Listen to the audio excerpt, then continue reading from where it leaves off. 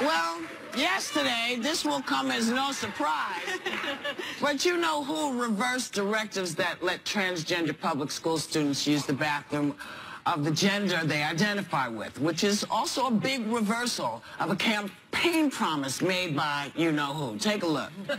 As your president, I will do everything in my power to protect our LGBTQ citizens. If Caitlyn Jenner were to walk into Trump Tower and want to use the bathroom, you would be fine with her using any bathroom she chooses. That is correct. Yeah. You know, uh, later in the show, we're going to be talking to transgender teen Gavin Grimm, who's taking his school district to the Supreme Court over this. But really, what's the message to transgender Americans and to transgender kids? Isn't it hard enough to be in high school or grammar school identifying in a different way than other people see you? I mean, does this, does this help or is this just more chaos for people to flip out about? I mean, with kids, why would they do this well, A lot of the people, oh, sorry, Sunny, a lot of the people against it are mm. talking about danger or fear, when in actuality, the statistics support the fact that it's the transgendered kids that are being right. bullied and hurt on this journey right now. Yeah. Well, and, yeah, go ahead. and so I think the, the, the hard part right here is we're talking about the most vulnerable people in our society, our children, in their safe space of school. And as we all know at that age, school-age kids can be some of the meanest kids you've ever seen without questions of what gender you identify with yeah. or your sexual well, sexuality or anything else. They, they, they, his surrogates always point to, oh, a predator could go in the bathroom disguised as a woman or something. I don't even yeah, understand that's it. the argument. Yeah, but that is what you call anecdotal evidence, which they like to use to make policy. Yeah. Like one guy, an immigrant, let's say undocumented, attacks somebody in part of the country, so they have to send millions of immigrants back to their countries based on that anecdotal evidence. That is not scientific. There's not even anecdotal evidence that a transgender no, person has happened. ever ever. They, you know, and they're, they're just trying to go in the bathroom, y'all. They're just trying to go to the bathroom. They're not looking for your kids. Yeah. But don't you the think straight people are the people you need to be worried about. but are they, are they, are they, it seems to me that they are appealing to the religious right on this one, that that's who their constituency is, mm-hmm. and let's just take everything away from people people who are in need in this country, especially something that is socially uh, iffy with religious people. It's interesting that Betsy DeVos might have been for this. Will yeah. you explain that? Well, well uh, the Department of Education and the Justice Department both have to work together to enforce Title IX, and that's what this is about. Title IX says that no person in the United States shall, on the basis of sex, be discriminated against in our schools that, that receive federal funding. Mm -hmm. So Betsy DeVos apparently was not supportive of, of this rescinding, rescinding of, of the Obama administration directive, which basically said, listen, you cannot discriminate against someone based on sex, and sex needs to be looked at, that term very broadly. Mm -hmm. It also includes sexual orientation and gender identity. Right. Now, the Trump administration is saying, no, no, no, no, no. It should be looked at a little more narrowly, and sex just means gender. It just means male and female. So that's what I think the Supreme Court needs to decide mm -hmm. once so and Betsy, for all. so Betsy, Betsy reneged, went back on what she yeah. truly believed.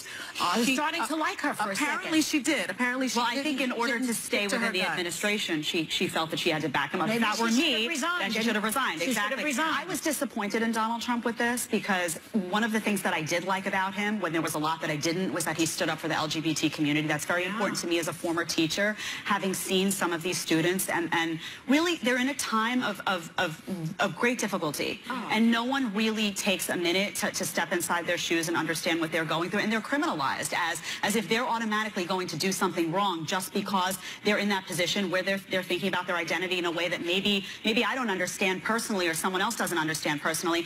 And people and are trying to make this... to bullies. It's true. It's also, also though, I want to make yeah. the point because conservatives are trying to make this about a states' rights issue and wanting to empower local communities. But before you think about states' rights, you have to remember to think about civil rights and constitutional rights. Right. And that comes Equal first always. The. And the state doesn't yeah. get to say that your civil rights don't matter. So my hope yeah. is that the Supreme Court will review this because I'm deeply concerned about children who are facing these challenges, yeah. feeling more and more isolated and marginalized well, at a time no, like this. I'm no deeply concerned. Everyone. There's no protect difference everyone. between uh, civil rights. As an American, you are protected under the law. It doesn't say based on your sexual identity. It doesn't say based on your gender.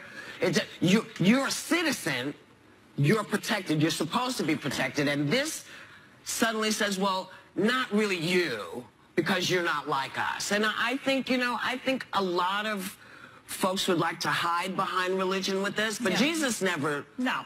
never threw anybody away because he didn't understand or he didn't. Jesus wasn't like that. I don't know who everybody is talking about, but this, if Jesus. They pervert the religion. Well, they kind of mess it, they mess with it because, you know, I'm sorry, I don't, I saw Ten Commandments, I went to school, Ten Commandments. Didn't say anything about transgender people. Yeah. Well, it's Didn't say, it said thou shalt not kill.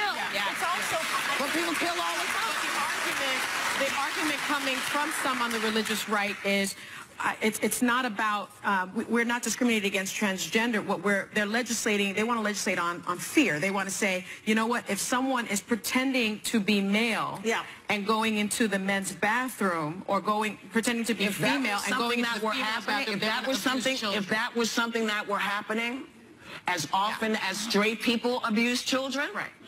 I would say, hey, we should talk about this. But we don't have, there's no anecdote, there is nothing, and I get it. There isn't I one get single it. case of a transgender person abusing a child in Could the argument Not one. be? Could the argument not be that a straight person would pretend, would put on, you know, some sort of act? I, I'm just trying to see the other side uh, from the parent's perspective. Could a straight person put on a facade and pretend to be, you know, whatever to get to perpetrate? That's- that's That's the argument. concern. Separate two concern. things. First of all, this is gender identification, not sexuality. Yes. So Right. this Yeah, isn't about right. straight and gay. Yes. This is a gender identification. Exactly. So I think that's the important thing here is we're perpetuating a language in all of these discussions that the, they're putting on young people right here and supporting the people that are bullying or the people that don't understand this.